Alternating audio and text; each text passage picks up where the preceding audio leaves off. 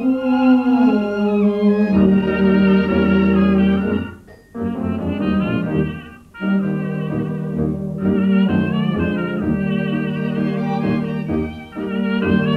o udziale Skarbofermu w ważnych wydarzeniach w Katowicach, trzeba jednoznacznie stwierdzić, że już samo powstanie tej spółki było bardzo ważnym wydarzeniem w dziejach Katowic.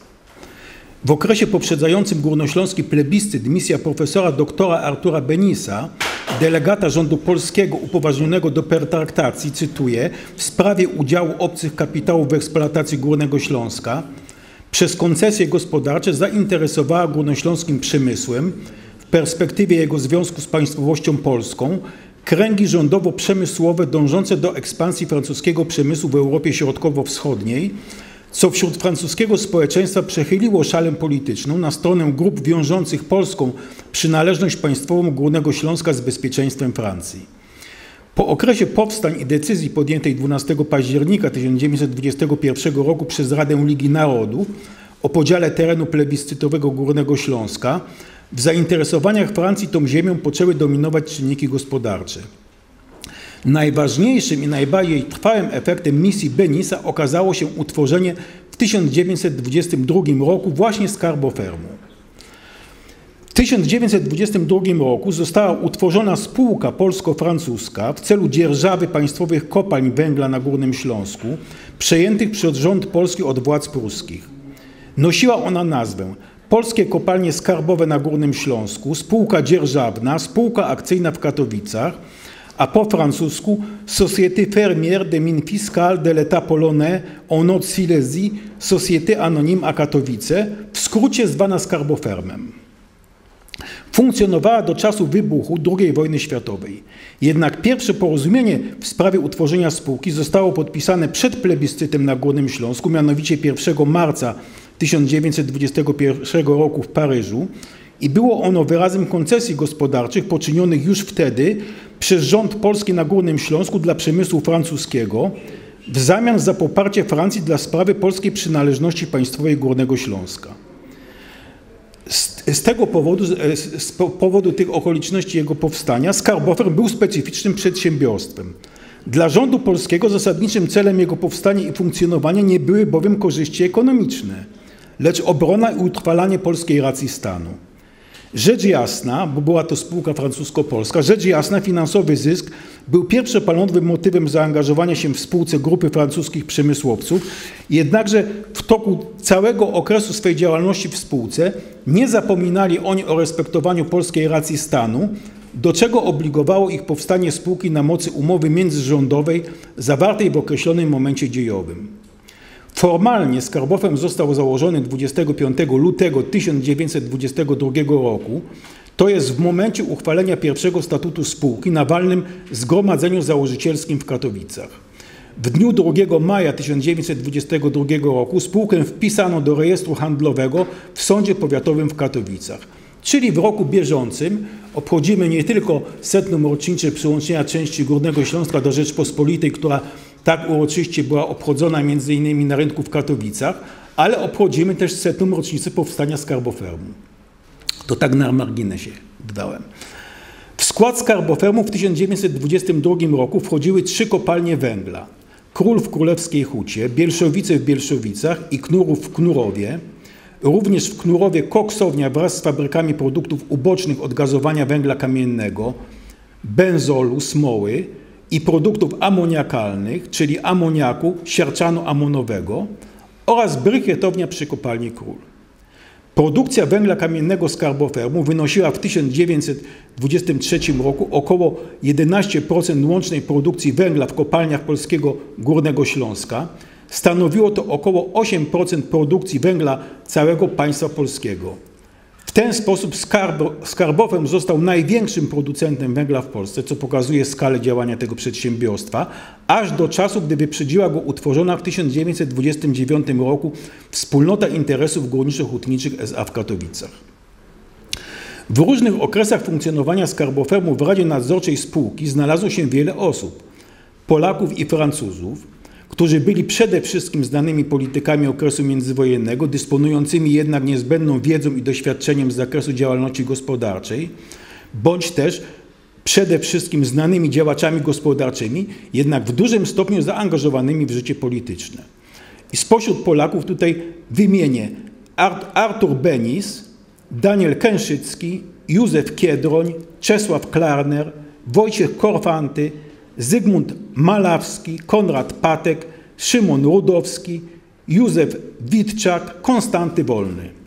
Oczywiście działalność tych osób na pewno Państwu jest, na innych polach jest bardzo szeroko znana.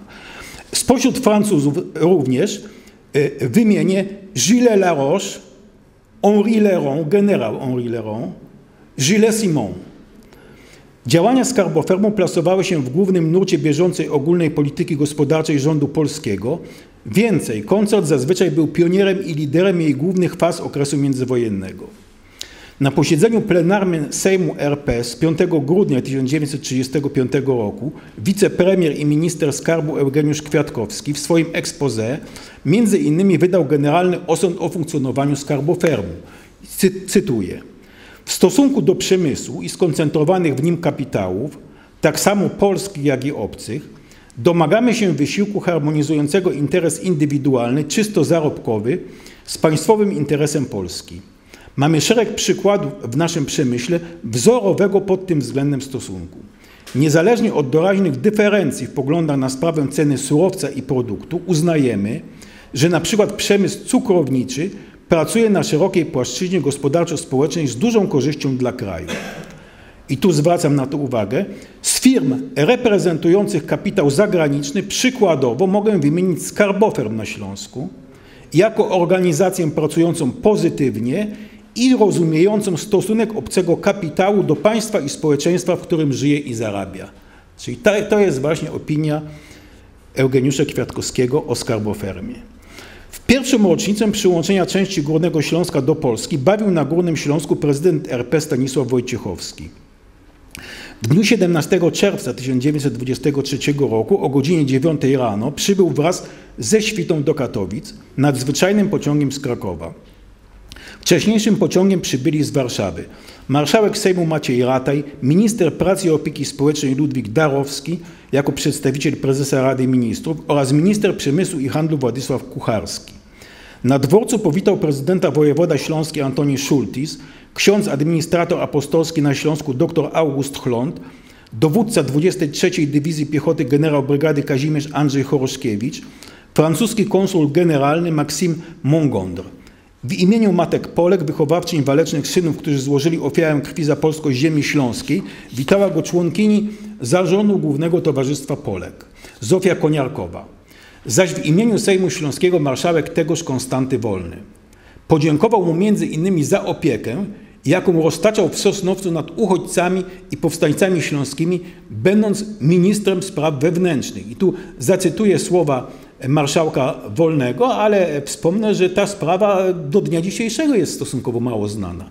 Więc marszałek Wolny e, powiedział, gdy w roku 1919 zwracając się do prezydenta. Gdy w roku 1919 z rozpaczy podniosła się polska ludność Górnego Śląska, gdy po upływie trzech dni całe tysiące powstańców, mężczyzn, kobiet i dzieci przekroczyły dawną granicę polityczną, gdy te tysiące były bez mieszkań, bez chleba i częściowo bez wystarczających ubrań, pan prezydent z ministrów Polski niósł pomoc uchodźcom.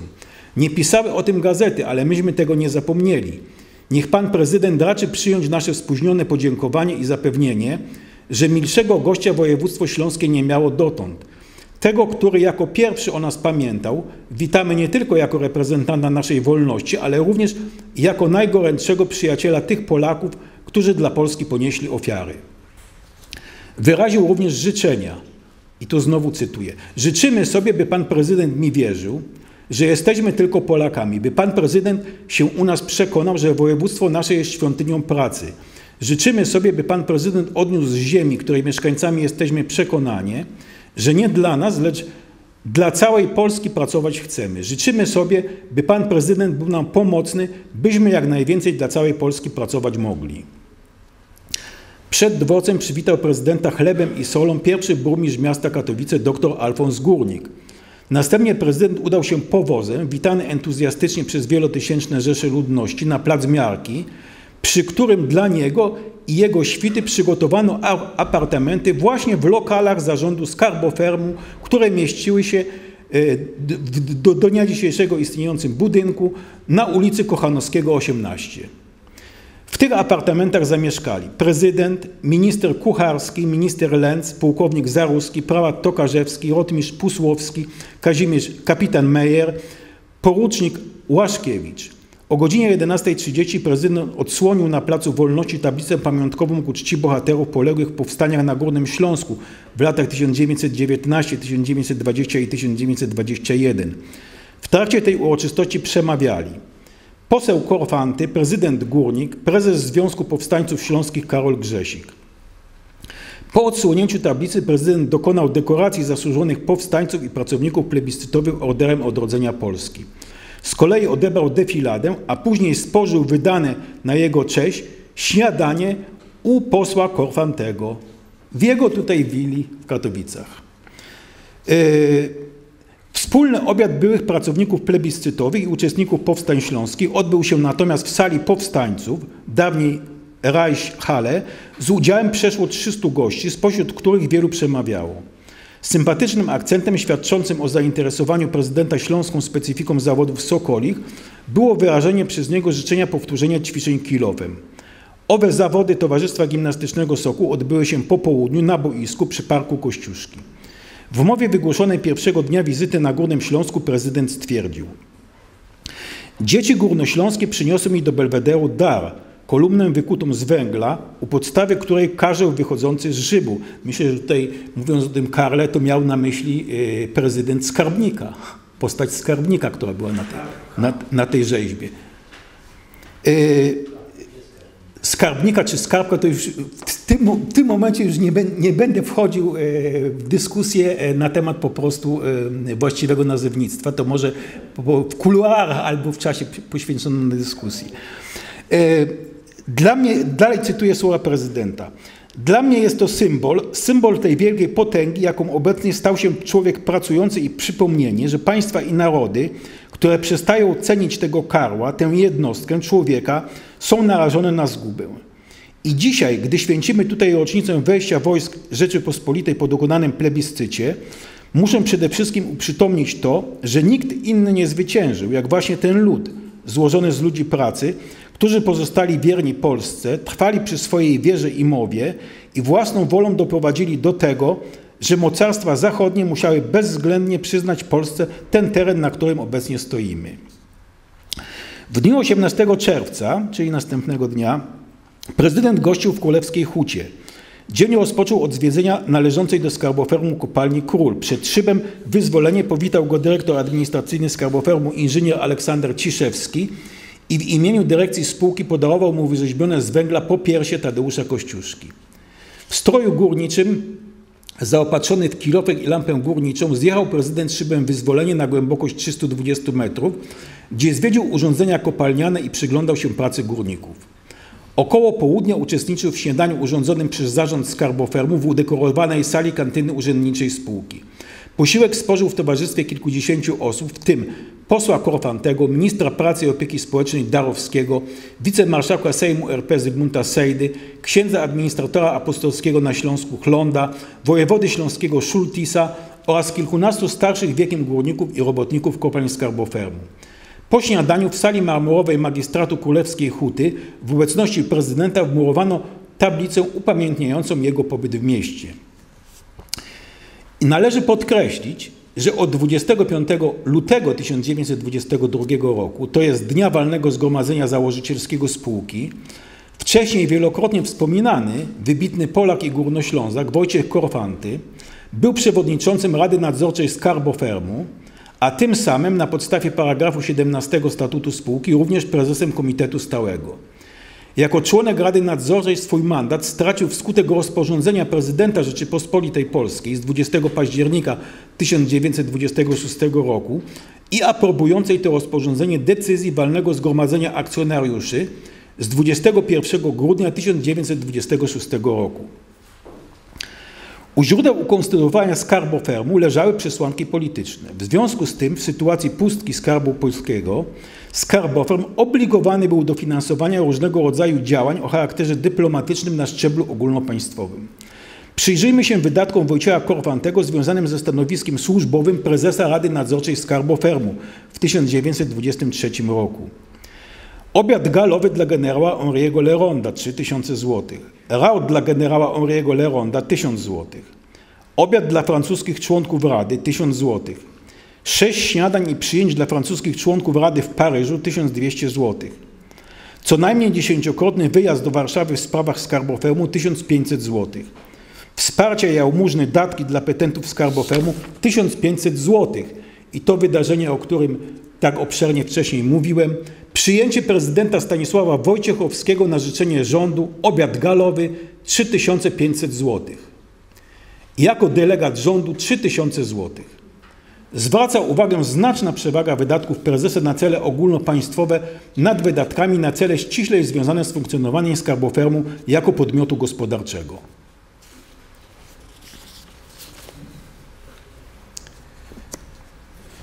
E, na rzecz wspominanej na początku misji referatu, e, misji Benisa, bardzo żywo angażowała się francuska Unia Przyjaciół Polski, stanowiąca Federację Stowarzyszenia Francja-Polska oraz Stowarzyszenia Przyjaciele Polski Les Amis de la Pologne.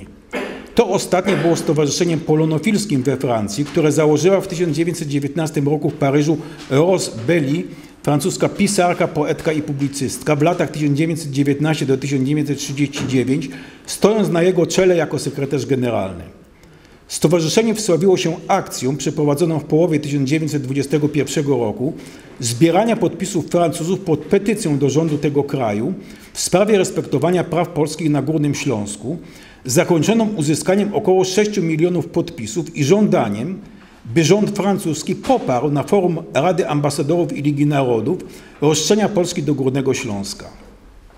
W latach 1923, 1927 i 1930 Ros Belli odwiedziła województwo śląskie, między innymi przybywała w Katowicach i Królewskiej Hucie. W dniach 17 do 19 września 1927 roku odbyła się wycieczka Stowarzyszenia Les Amis de la Pologne na Górny Śląsk kierowana przez Ros Belli. Dnia 19 września odwiedzono Skarboferm, co zostało odnotowane w Złotej Księdze Pamiątkowej Spółki. Belli wpisała się w niej jako Różyczka. Tak nazwał ją Tadeusz Żeleński-Boj w poświęconym jej felietonie. I tu felieton Boja. Ja ją nazywam zuchwale Różyczką albo Rozalką, ale nazywa się pani Rosa Belli. Nazwisko to dobrze znane we Francji, jest tam dziś jakby symbolem sympatii francusko-polskich. Jest zarazem cementem organizacji, która z każdym dniem rośnie, umacnia się i która posiada dla nas pierwszorzędne znaczenie. Organizacja ta to Les Amis de la Pologne, stowarzyszenie oparte wyłącznie na Francuzach, mające za zadanie krzewić znajomość Polski, sympatię dla Polski i w danym momencie czynnie wspierać jej interesy. Patrzę z ciekawością na tę kobietę. A życie erotyczne, pytam Różyczko, pytam przeniknięty Y, y, panseksualizmem Freuda i myśląc, że może tu znajdę tajemnicę siły tego motoru. Różyczka śmieje się. Nim pokochałam Polskę, miałam narzeczonego, który mnie porzucił dla panny umiejącej dobrze gotować. Byłam bardzo nieszczęśliwa. Potem studiowałam rzeźbę i anatomię. Potem wyszłam za mąż. Ale po jakimś czasie mąż powiedział mi: albo ja, albo Polska. No i wybrałam Polskę, mówi Różyczka z dziwnym wyrazem oczu. Po zwiedzeniu podziemi kopalni Król i urządzeń powierzchniowych podjął francuskich gości śniadaniem zarząd skarbofermu z generalnym dyrektorem François Raymond na czele. Witający ich serdecznie dyrektor Raymond był równocześnie członkiem założycielem i ówczesnym wiceprezesem Alliance Française w Katowicach.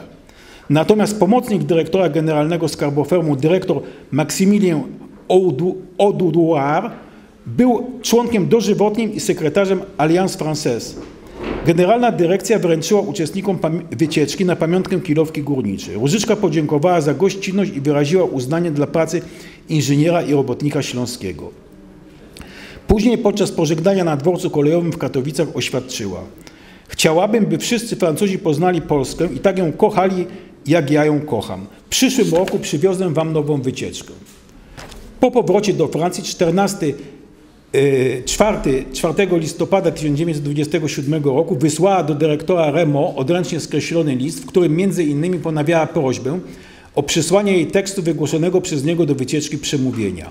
Obiecywała, że mimo nawału pracy w sekretariacie Les Amis de la Pologne doprowadzi do opublikowania tej mowy w znacznej części prasy francuskiej.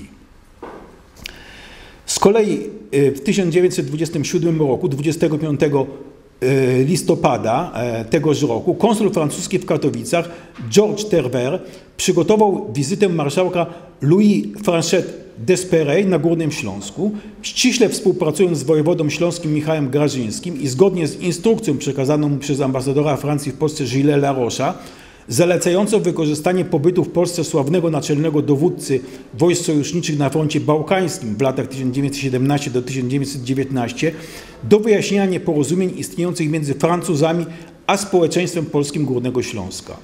Marszałek Franchet Desperey wizytował Państwową Fabrykę Związków Azotowych w Chorzowie, jedną z kopalń skarbofermu Król w Królewskiej Hucie oraz zakłady Kunegunda należące do śląskich kopalń i cynkowni SA w Katowicach. W kopalni Król marszałek został podjęty bankietem, który wywarł na nim duże wrażenie, przygotowanym przez dyrektora generalnego skarbofermu François Remo oraz zwiedził instalacje powierzchniowe kopalni. Podczas obiadu wydanego na cześć marszałka przez wojewodę śląskiego Michała Grażyńskiego, konsul Terwer uzgodnił z wojewodą, że ten będzie systematycznie spotykał się na kolacjach u konsula z francuskimi przedsiębiorcami, od dyrektora generalnego Śląskiej Kopalń i Cynkowni SA w Katowicach Roberta Kalona poczynając, co powinno doprowadzić do całkowitego i definitywnego porozumienia między władzami województwa śląskiego a francuskimi przedsiębiorcami zaangażowanymi w przemyśle górnośląskim. Marszałek przeprowadził wiele rozmów z członkami władz cywilnych, wojskowych i kościelnych województwa śląskiego oraz przedstawicielami kolonii francuskiej. W przyjacielskich dyskusjach podczas uroczystej kolacji wydanej przez konsulat francuski w Katowicach prym wiedli prezes Alliance Française w Katowicach Józef Kiedroń, dyrektor generalny skarbofermu François Raymond, dyrektor zakładów skarbofermu w Knurowie François Michel. Bankiet w konsulacie kosztował około 50 tysięcy franków francuskich. Największą pomoc w jego sfinansowaniu i organizacji konsulat francuski w Katowicach uzyskał od Laduriego, dyrektora Banku Francusko-Polskiego i Maksymiliana Oduarda, pomocnika dyrektora generalnego Skarbofermu. Wizyta marszałka Franchet Desperey w Polsce w listopadzie 1927 roku pozornie tylko wzmacniała związki Polski z Francją – a jej głównym celem była rewizja konwencji wojskowej z 1921 roku, od czego zdecydowanie jednak uchylił się marszałek Józef Piłsudski. Nic dziwnego, że w takiej ogólnej międzypaństwowej atmosferze francusko-polskich stosunków polityczno-wojskowych wizyta marszałka Franchet Desperey na Górnym Śląsku 25 listopada 1927 roku nie przyczyniła się do uzdrowienia stosunków panujących pomiędzy władzami i społeczeństwem francuskim, e, społeczeństwem polskim, a Francuzami w województwie śląskim czego pośrednim dowodem było usunięcie konsula Terwera zajmowanego przez stanowiska w grudniu 1928 roku. Daje się jednak zauważyć, że wśród kolonii francuskiej w województwie śląskim grupą najaktywniej działającą na rzecz uzdrowienia tych stosunków byli francuscy przedstawiciele skarbu fermu. I to pomimo sporów w 1927 roku między polską a francuską grupą administratorów skarbu fermu dotyczących obsady stanowisk dyrektora generalnego i prezesa oraz zakresu ich kompetencji. Jak już wspomniano, dyrektor generalny Skarbofermu François Remo był równocześnie członkiem założycielem i wiceprezesem Alliance Française w Katowicach.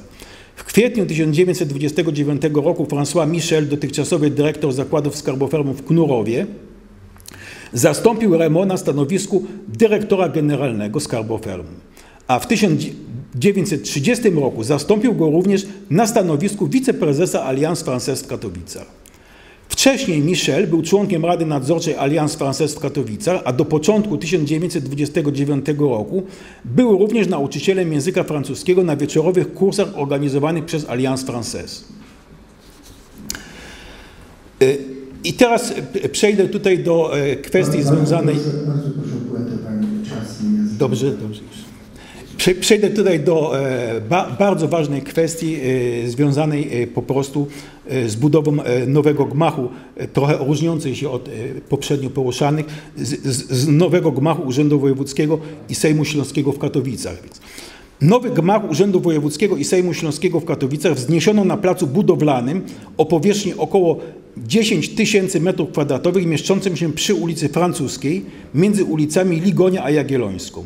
Uroczyste oddanie do użytku tej e, okazałej, reprezentacyjnej, wielofunkcyjnej budowli połączone z poświęceniem jej i spisaniem aktu erekcyjnego odbyło się 5 maja 1929 roku z udziałem przedstawicieli rządu polskiego. Grunt o powierzchni około 6 tysięcy m2, tworzący plac przed głównym wejściem do tego gmachu, był w posiadaniu spółki Skarboferm. Dlaczego? Choć się, się, statutową siedzibą Skarbofermu były Katowice, jednak przez cały okres międzywojenny Dyrekcja Generalna i centralne wydziały spółki mieściły się w gmachu na rynku w Królewskiej Hucie Chorzowie. W pierwszych latach istnienia spółki Rada Nadzorcza i Dyrekcja rzeczywiście nosiły się z zamiarem przeniesienia centralnych wydziałów spółki do Katowic. W tym celu zakupiono w 1922 roku w Katowicach wspomniany grunt. Dnia 24 maja po wzniesieniu tego gmachu, nowego gmachu, dnia 24 maja 1929 roku Rada Nadzorcza Skarbofermu upoważniła Dyrekcję Generalną do rokowań z Urzędem Wojewódzkim Śląskim w sprawie sprzedaży tego placu. I tu cytuję. Przy czym warunki tej sprzedaży winny być jak najbardziej zbliżone do warunków stosowanych przy transakcjach czysto prywatnych dotyczących placów w tym punkcie miasta Katowic. Państwo, e, jakkolwiek teren ten wpisany jest na imię spółki dzierżawnej, należy w rzeczywistości do państwa polskiego, ponieważ został zakupiony na ciężar rachunku eksploatacji. Wobec tego dyrekcja załatwi sprawę w ten sposób, aby przychód ze sprzedaży tej własności państwa przypadł temuż państwu i wpłacony został na jego rachunek na poczet zaległej tenuty dzierżawnej. W 1926 roku do Katowic przeniesiono jedynie Biuro Sprzedaży Krajowej Skarbofermu.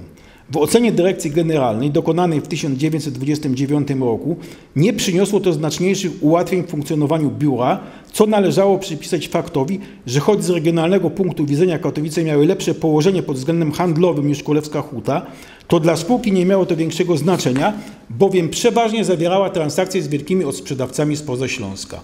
Dyrekcja Generalna widziała sens dalszego utrzymywania w Katowicach wyłącznie organów zajmujących się właściwą sprzedażą, to jest nielicznego personelu, który pertraktuje z klientami lub ich przedstawicielami i przyjmuje zamówienia. Biuro mieściło się przy wspominanej już w budynku przy, y, już wcześniej wspominanym przy ulicy Kochanowskiego 18. W tymże budynku zamieszkiwał też Michel w okresie sprawowania przez niego funkcji generalnego dyrektora Skarbofermu w latach 1929 do 1939. I podsumowując, Skarbofarm odcisnął bardzo silne i pozytywne piętno na życiu gospodarczym, politycznym, społecznym i kulturalnym Polski, województwa śląskiego i Katowic. W swoim referacie przedstawiłem tylko najbardziej spektakularne przejawy jego udziału w ważnych wydarzeniach w Katowicach, a tak na marginesie to ten, że w mojej opinii to Skarbowy był tylko e, znaczącym przedsiębiorstwem e, nie tylko w skali ogólnopolskiej, e, e wojewódzkiej, e, regionalnej, regionalnej wo, województwa śląskiego czy e, w skali Katowic, ale również w skali ogólnoświatowej. Dziękuję bardzo.